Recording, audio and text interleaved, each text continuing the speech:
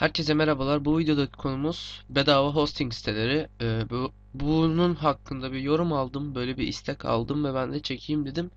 Öncelikle söylemem gereken şey bu video iki bölümden olacak. Yani bu birinci bölüm olacak. Bu konuyu tek videoda anlatmam zaten çok iyi olmaz. Hem de şu anda çok fazla vaktim yok. O yüzden hemen videoya geçeyim. Dediğim gibi bu birinci bölüm olacak. Bedava hosting sitelerini ele alacağız. Öncelikle benim kullandığım şu anda e, bir hosting e, servisi var. Bedava host ve domain veriyor. Hatta tasarımı da size bedava veriyor. Hani birazcık beleşçi bir sistem doğru. Uğraşmak istemiyorsanız kullanabilirsiniz. Wix şu andaki gizem yapımcılık sitesi bununla yapıldı. Ancak yakında o site, o site kapanıyor. E, .com'lu bir e, şeye geçeceğim. Yani bir domain artı host satın alıp oraya geçeceğim. Çok yakın bir süre içinde. Şu anda bunu kullanıyorum. Hemen e, benim web siteme bakacak olursak.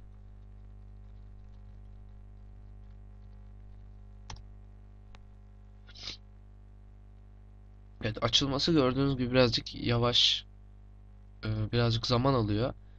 Şurada sitenin şurasında ve şurasında iki tane şey çıkıyor. Bu rahatsız edici olabilir. Bir de bu siteye yani reklam alamıyorsunuz. Google'da Google'a kayıt etmek zor oluyor. Hemen Google'daki arama şeylerine bakalım. Çok rezil bir şey gerçekten. Hani gizem yapımcılık yazıyorum. Şuradaki şey çıkıyor. Bu eski site. Bu da zaten yavaş yavaş açılıyor. Evet gördüğünüz gibi bu eski site. Buradaki tasarımı değiştirmeden önceki site. Ee, 5000 kere tıklanmış. Ee, işte YouTube kanalı çıkıyor. Facebook sayfası çıkıyor. Benim site yani şu anda çıkmadı galiba. Blogspot çıktı. Onu kapattım halbuki. Şu şu anda işte şurada çıktı. Yani gördüğünüz gibi çok dağınık, çok rezil bir durumda oluyor. O yüzden Wix'i tavsiye etmiyorum. Yani tasarımları falan güzel olsa da e, ben tavsiye etmiyorum. Yani güzel bir şey değil. Kullanmanızı önermem. Hemen bir sonraki servisimize geçelim ve bunu tavsiye ederim. Aslında ilk başta bunu gö gösterecektim. 000 webhost 000 webhost.com tamamen bedavadır. Destekleyebildiği bir sürü programlama dili var. Çok geniş e, size yerler veriyor. Yani çok geniş demeyeyim hadi e, yalan olmasın 1500 MB. Yani ama iyidir yani yeter. E, çünkü e, gerçekten işinizi görüyor. Ben çünkü eskiden bunu da denemiştim.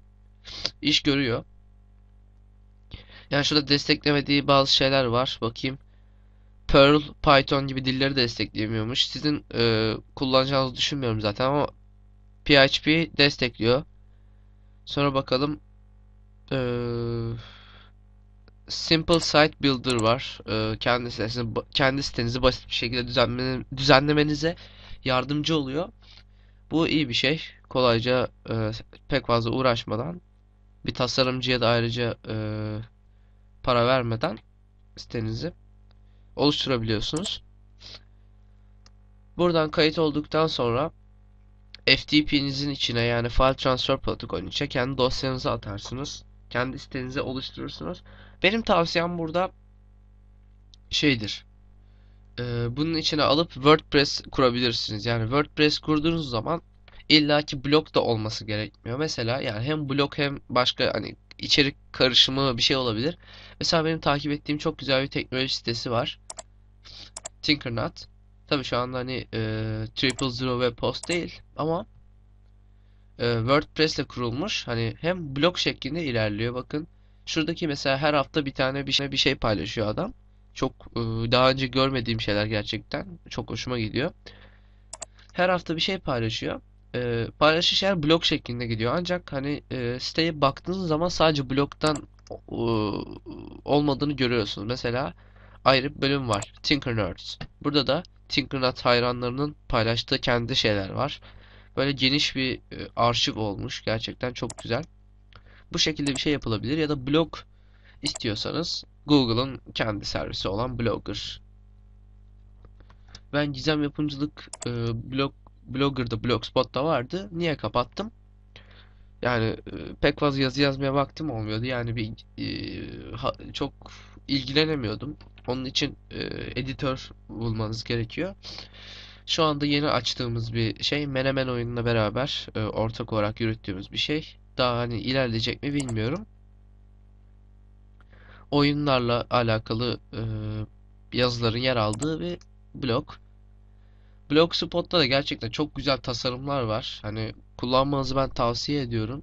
Şu anki e, şeyin tasarımına bakacak olursak yani gerçekten çok hoşuma gitti. Şurada köşede şeyler var. Subscribe, katkıda bulunanlar ya editörlerin isimleri. Blog arşivi. Sonra şurada tasarımı değiştirme şeyleri var. Aynı tasarım için farklı seçenekler sunmuş. Mesela Flipkart. Şu şekilde konular küçük küçük resimler halinde yer alıyor. Çok hoşuma gitti gerçekten. Sonra bir de e, Snapshot vardı. Bu da e, çok sevmiştim. Şöyle. Bunda da küçük resimler halinde. Biraz daha büyük resimler halinde ama daha güzel bence. Yani gördüğünüz gibi e, çok güzel şeyler var. Bir de şeyi göstereceğim. Video kısa oldu. Birazcık özür diliyorum. Ee, evet. Şurası var bir de.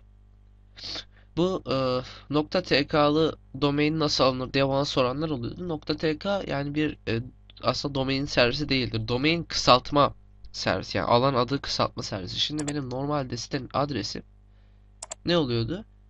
gizemyapim.wix.com Ancak ben bunu .tk'dan kısaltarak gizem yapayım .tk'ya çevirdim.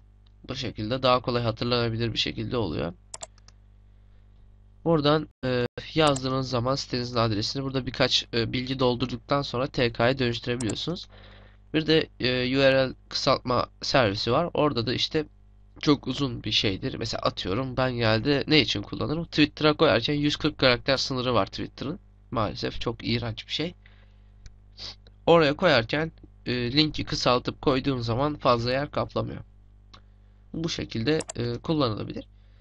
Bir sonraki dersimde yani e, bunun ikinci bölümünde bu videonun ikinci bölümünde e, 000 web host için WordPress kurulumunu anlatacağım. WordPress veya Joomla e, tabanlı bir şey koyduğunuz zaman gerçekten çok güzel çalışıyor. Yani denedim.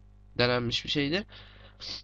Ondan sonra bir de .tk'dan e, domaine çevirirsiniz. E, çok güzel. Yani tadından yenmez. Tabii ki parayla aldığınız bir domain daha e, iyi, daha kaliteli olacaktır. Benim ben de yakında alıyorum. Yani Wix'ten kurtulacağım. Daha e, iyi içerikli karşınızda olacağım inşallah. E, bu videoda bu kadar. Görüşmek üzere arkadaşlar.